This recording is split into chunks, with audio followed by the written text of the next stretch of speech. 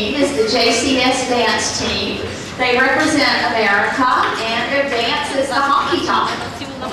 An upbeat percussion dance taken from the traditional Appalachian folk dance known today as clogging. This dance is done to the country tune of Honky Tonk. Honky Tonk.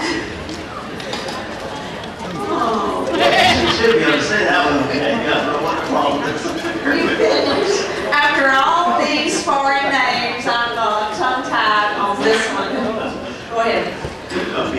Okay, honky tonk.